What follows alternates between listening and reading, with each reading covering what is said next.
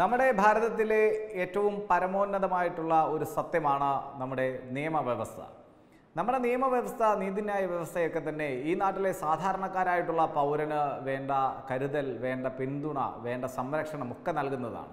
എന്നാൽ നമുക്കറിയാം ഇന്ന് നമ്മുടെ നീതിന്യായ വ്യവസ്ഥ ഒരുപക്ഷെ നമ്മളോട് തന്നെ അല്ലെങ്കിൽ ഈ പൊതുസമൂഹത്തോട് തന്നെ കാണിക്കുന്നത് ഒരു ന്യായമായ കാര്യമാണോ എന്നാണ് ഒരു എളിയ പൗരൻ എന്ന രീതിയിൽ നമുക്ക് ചോദിക്കാനുള്ളത്. കാരണം നമുക്കറിയാം രാജ്യ തലസ്ഥാനമായ ദില്ലിയിൽ ഒരു ഏഴ് വർഷം മുമ്പ് രാത്രിയിൽ ഓടിക്കൊണ്ടിരുന്ന ഒരു ബസ്സിൽ അതിക്രൂരമായ രീതിയിൽ ഒരു പെൺകുട്ടിയെ പിച്ചി ചീന്തി അതിക്രൂരമായ രീതിയിൽ ആ പെൺകുട്ടിയെ അവരുടെ ശാരീരിക ഓരോരോ സ്വകാര്യ ഭാഗങ്ങൾ വരെ ഈ എന്താ പറയുക സ്പോട്ട് ചെയ്ത് അവിടേക്ക് ഇരുമ്പ് ദണ്ടുകൾ ഉൾപ്പെടെയുള്ള കാര്യങ്ങളൊക്കെ വളരെ നമുക്കത് പറയുമ്പോൾ തന്നെ നമുക്ക് വളരെ എന്താ പറയേണ്ടത് മനസ്സ് വിങ്ങുന്നു. ക്രൂരതയുടെ ആൾരൂപമായിട്ടുള്ള ഒരു നാലഞ്ച് നരാധമന്മാർ ചേർന്ന് നടത്തിയ ഒരു കൊടും പാതകം അവസാനം ആ കുട്ടിയെ ബലാത്സംഗം ചെയ്ത് ആ കുട്ടിയെ എന്താ മൃതപ്രായയാക്കി വലിച്ചെറിഞ്ഞ് ആ കുട്ടി മരണത്തിന് കീഴടങ്ങി. ആ കുട്ടിക്ക് രാജ്യം ഒന്നാകെ ലോകം ഒന്നാകെ ഒരു പേരിട്ടു നിർഭയ.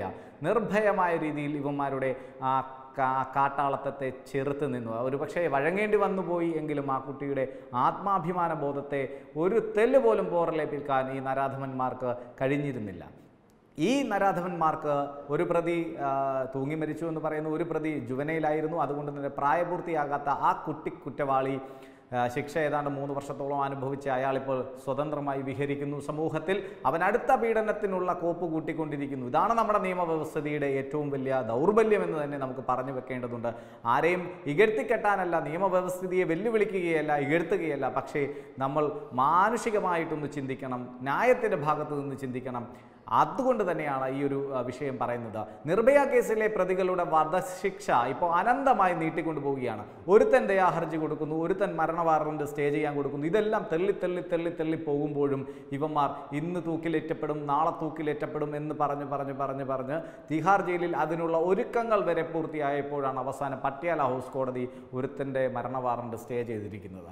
ഇത് നമ്മൾ മനസ്സിലാക്കേണ്ടതുണ്ട് ഈ നാട്ടിൽ എന്ത് കൊണ്ടാണ് ഇത്തരത്തിൽ ഇത്തരത്തിലുള്ള കൊലയാളികൾക്ക് ഇത്തരത്തിലുള്ള ക്രൂരന്മാർക്ക് ഇത്തരത്തിലുള്ള നരാധമന്മാർക്ക് നിയമം ആവശ്യമില്ലാത്ത രീതിയിൽ ഒരു പഴുതുകൾ അനുവദിക്കുന്നത് ഫേവറുകൾ ചെയ്യുന്നത് എന്നതാണ്. നമ്മൾ ഇതെല്ലാം കൂടി ഒരു ഇരുന്ന് ചിന്തിക്കേണ്ട സാമൂഹ്യ മനസ്സാക്ഷി ഒന്നടങ്കം ഇരുന്ന് ചിന്തിക്കേണ്ട ഒരു വിഷയമായി ഇത് മാറുന്നു.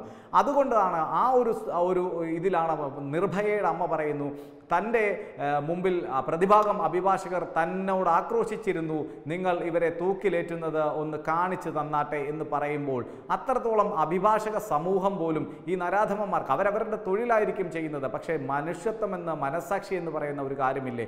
ഈ നരാധമന്മാർക്ക് എന്ത് തരത്തിലാണ് ഇനിയും ഒരു ഒരു മാനസാന്തരം ഉണ്ടാകാനുള്ളത്? ഒരു തരത്തിലും ഇവർക്ക് മാനസാന്തരം ഉണ്ടാവില്ല എന്ന് പരമോന്നത നീതിപീഠം വരെ അംഗീകരിച്ചിട്ടും രാഷ്ട്രപതി ഇവരുടെ ദയാഹർജി തള്ളിയിട്ടും എന്തിനാണ് ഈ കീഴ്ക്കോടതികളിൽ ചില ജഡ്ജിമാരെന്ന് പറഞ്ഞിരിക്കുന്ന ആളുകൾ ഇവർക്ക് ആവശ്യമില്ലാത്ത ചില ഫേവറുകൾ ചെയ്തു കൊടുക്കുന്നത് എന്നാണ് മനസ്സിലാകാത്ത കാര്യം. ആ ഒരു അവസരത്തിലാണ് കേന്ദ്ര സർക്കാർ ശക്തമായ ഒരു നടപടിയുമായി നിലപാടുമായി കോടതിയിലേക്ക് വന്നിരിക്കുന്നത്. ഈ നരാധമന്മാരുടെ വധശിക്ഷ ഉടൻ നടപ്പാക്കണമെന്നും രാജ്യത്തിന്റെ ക്ഷമയെ തന്നെയാണ് ഈ നരാധമന്മാർ പരീക്ഷ പരീക്ഷിക്കുന്നതെന്നും കേന്ദ്ര സർക്കാർ കോടതിയിൽ നിർഭയ കേസുമായി ബന്ധപ്പെട്ടിട്ട് തങ്ങളുടെ ഭാഗം വിശദീകരിച്ചിരിക്കുന്നു. കഴിഞ്ഞ ദിവസമാണ് ദില്ലി ഹൈക്കോടതിയിൽ കേന്ദ്ര സർക്കാർ സമർപ്പിച്ച ഹർജിയിൽ വാദം കേൾക്കവേ സോളിസിറ്റർ ജനറൽ ആയിട്ടുള്ള തുഷാർ മേത്ത ഈ ഒരു പരാമർശം കോടതിയിൽ നടത്തിയത്. അത് വളരെ പ്രസക്തമാണ്. കേന്ദ്ര സർക്കാരിന്റെ അഭിപ്രായമാണിത്. കാരണം നിർഭയ കേസിലെ പ്രതികളുടെ വധശിക്ഷ ഉടൻ വധശിക്ഷ ഉടൻ നടപ്പാക്കണമെന്നാണ് കേന്ദ്ര സർക്കാർ പറയുന്നത്. തിഹാർ ജയിലിൽ ആരാച്ചാരെത്തിയിരുന്നു ഡമ്മി പരീക്ഷണം നടത്തിയിരുന്നു. അതിനുശേഷമാണ് പട്യാല ഹൗസ് കോടതി പറയുന്നത് ഈ കൂട്ടത്തിൽ ഒരു നരാധമന്റെ പ്രതി നിന്നും നമ്മൾ പറയുന്നില്ല നരാധമന്റെ മരണ വാറണ്ട് സ്റ്റേ ചെയ്തുകൊണ്ടുള്ള ഒരു ഉത്തരവ് വന്നത്. എന്തിനാണ് ഇത്തരത്തിലുള്ള ഫേവറുകൾ? ഒരിക്കൽ കൂടി ചോദിക്കുകയാണ്. ആ പരമോന്നത ആ, നീതിപീഠത്തിന്റെ ആ ചെയറിലിരിക്കുന്ന ബഹുമാന്യരായിട്ടുള്ള മജിസ്ട്രേറ്റുമാർ ജഡ്ജിമാരൊക്കെ എന്തിനാണ് ഇത്തരത്തിലുള്ള കാട്ടാളന്മാർക്ക് ഇത്തരത്തിലുള്ള നരാധമന്മാർക്ക് ഇത്തരത്തിലുള്ള തെമ്മാടികൾക്ക് വേണ്ടി നിയമത്തിന്റെ ചെറിയ ചെറിയ പഴുതുകൾ കൂടി അനുവദിച്ചു കൊടുക്കുന്നത് എന്നാണ് മനസ്സിലാക്കാൻ സാധിക്കാത്തത്. ഞായറാഴ്ച കഴിഞ്ഞ ദിവസം കോടതി അവധിയായിരുന്നുവെങ്കിലും ഈ ഒരു കേസിന്റെ അടിയന്തര പ്രാധാന്യം പരിഗണിച്ചുകൊണ്ടാണ് പ്രത്യേക സിറ്റിംഗ് നടത്തി വാദം കേൾക്കാൻ ഡൽഹി ഹൈക്കോടതി ജസ്റ്റിസ് സുരേഷ് കൈത്ത് തീരുമാനമെടുത്തിരുന്നത്. അദ്ദേഹത്തിന് മുമ്പിലാണ് സോളിസിറ്റർ ജനറൽ തുഷാർ മേത്ത കേന്ദ്ര സർക്കാരിന്റെ നിലപാട് വ്യക്തമാക്കിയത്. പ്രതികളുടെ വധശിക്ഷ ഉടൻ നടപ്പാക്കണമെന്നും പുനഃപരിശോധനാ ഹർജികൾ മനഃപൂർവം വൈകിപ്പിച്ചുകൊണ്ട് അവർ രാജ്യത്തിന്റെ ക്ഷമയെ തന്നെ പരീക്ഷിക്കുകയാണെന്നും തുഷാർ മെത്ത കോടതിയിൽ പറഞ്ഞു. കുറ്റകൃത്യം നടന്ന് ഏഴ് വർഷം കഴിഞ്ഞിട്ടും ശിക്ഷ നടപ്പായിട്ടില്ല. ആ പാവപ്പെട്ട പെൺകുട്ടിയുടെ ആത്മാവിന് പോലും ഒരു മോക്ഷം കിട്ടുന്ന തരത്തിലേക്കുള്ള ഒരു വിധി.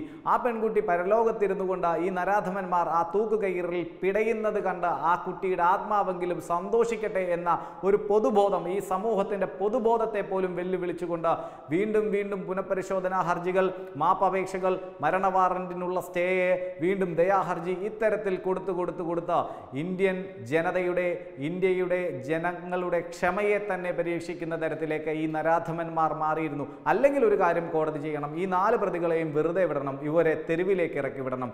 ജനങ്ങൾ തെരുവിൽ ഈ നരാധമന്മാരെ കൈകാര്യം ചെയ്യട്ടെ. ഇതൊന്നുമില്ലാതെ ഏതാണ് കപ്പിനും ചുണ്ടിനും ഇടയിൽ കിടന്ന് കളിക്കുന്നത് പോലെ ഉള്ള ഒരു നിലപാടുകൾ കോടതി തിരുത്തണം. അത് പരമോന്നത നീതിപീഠം വരെ പറഞ്ഞിട്ടും എന്തുകൊണ്ടാണ് കീഴ്ക്കോടതിയിൽ ഇരിക്കുന്ന ചില പുണ്യവാളന്മാർ ചമയാൻ ശ്രമിക്കുന്ന ഈ ജഡ്ജിമാർ.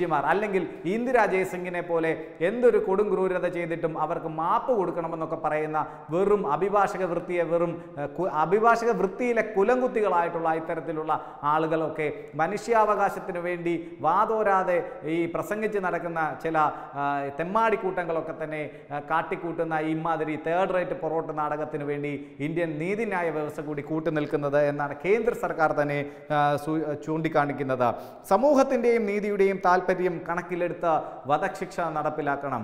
ഇന്ത്യ മഹാരാജ്യത്തെ നൂറ്റി മുപ്പതിലധികം വരുന്ന കോടാനുകൂടി ജനങ്ങളുടെ ഇടയിലേക്ക് നിയമ സംവിധാനം ഒന്ന് ഇറങ്ങി ചെല്ലട്ടെ. ഒരേ സ്വരത്തിൽ അവർ പറയും ഇന്ദിരാ ജയസിംഗിനെ പോലെയും അല്ലെങ്കിൽ ഇത്തരത്തിൽ ഇവരുടെ മരണ വാറണ്ട് സ്റ്റേ ചെയ്യുന്ന ചില വലിയ മനുഷ്യത്വപരമായ സമീപനങ്ങൾ എടുക്കുന്ന ചില ജഡ്ജിമാർ ഒഴികെ ഈ ഭൂരിഭാഗം വരുന്ന സാമൂഹ സമൂഹവും സാമൂഹ്യ മനസാക്ഷിയും ഒരേ സ്വരത്തിൽ പറയും ഈ നരാധമന്മാരെ. ഒരുപക്ഷെ പരസ്യമായി തൂക്കിലേറ്റാൻ തന്നെ പറയും. അത്രയ്ക്ക് ക്രൂരതയാണ് ഇവർ ആ പെൺകുട്ടിയോട് അന്ന് രാത്രിയിൽ ചെയ്തത്. നീതി നിർവഹണം തടസ്സപ്പെടുത്താൻ കരുതിക്കൂട്ടിയുള്ള നടപടികൾ ഉണ്ടാകുന്നു എന്നാണ് കേന്ദ്ര സർക്കാർ ദില്ലി ഹൈക്കോടതിയിൽ വാദിച്ചിരിക്കുന്നത്. നിയമത്തിന്റെ പോംവഴികൾ ഉപയോഗിച്ച് പ്രതികൾ കാലതാമസം വരുത്തുകയാണ്. പ്രതി മുകേഷ് സിംഗ് പുര- പുനഃപരിശോധനാ ഹർജി നൽകിയത് നൂറ്റി ദിവസങ്ങൾക്ക് ശേഷമാണ്. തിരുത്തൽ ഹർജി നൽകാൻ അഞ്ഞൂറ്റി അൻപത് ദിവസം വൈകിയതും മനഃപൂർവമാണ്. നിലവിൽ അക്ഷയ് സിംഗിന്റെ ദയാഹർജി മാത്രമേ രാഷ്ട്രപതിയുടെ പരിഗണനയിലുള്ളൂ എന്നും സോളിസിറ്റർ ജനറൽ ചൂണ്ടിക്കാട്ടിയിട്ടുണ്ട്. ഈ അക്ഷയ് സിംഗിന്റെ ദയാഹർജിയും രാഷ്ട്രപതി തള്ളിയ സാഹചര്യത്തിൽ ഒരു സംശയവുമില്ലാത്ത തരത്തിൽ ഈ പ്രതികളെ എത്രയും പെട്ടെന്ന് തന്നെ തൂക്കിലേറ്റണമെന്ന കേന്ദ്ര സർക്കാർ ജനങ്ങൾക്ക് വേണ്ടി കേന്ദ്രം ഭരിക്കുന്ന കേന്ദ്ര സർക്കാർ ദില്ലി ഹൈക്കോടതിയിൽ ആവശ്യപ്പെട്ടിരുന്നു. കേന്ദ്ര സർക്കാരിന്റെ അഭിപ്രായമായി തന്നെയാണ് സോളിസിറ്റർ ജനറൽ തുഷാർ മേത്ത ഈ വാദം കഴിഞ്ഞ ദിവസം ഞായറാഴ്ചയായിട്ട് പോലും ഈ കേസിന്റെ അടിയന്തര പ്രാധാന്യം കണക്കിൽ എടുത്തുകൊണ്ട് സുരേഷ് കൈത്തെന്ന ജഡ്ജി പ്രത്യേക സിറ്റിംഗ് നടത്തിയ വേളയിൽ തുഷാർ മേത്ത അദ്ദേഹം സോളിസിറ്റർ ജനറലാണ് രാജ്യത്തിന്റെ അദ്ദേഹമാണ്.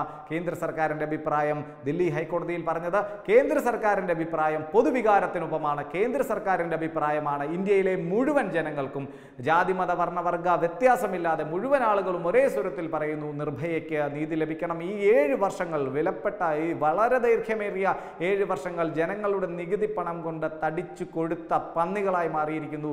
ഈ നരാധവന്മാർ എത്രയും പെട്ടെന്ന് ഇവരെ പരലോകത്തേക്ക് അയച്ച് നിർഭയയുടെ ആത്മാവിനെങ്കിലും നീതി നൽകണം എന്ന ആവശ്യമാണ്. ഈ പൊതു സമൂഹത്തോടൊപ്പം പൊതു മനസാക്ഷിക്കൊപ്പം കേന്ദ്ര സർക്കാരിനൊപ്പം ഞങ്ങൾക്കും പങ്കുവെക്കാനുള്ളത്.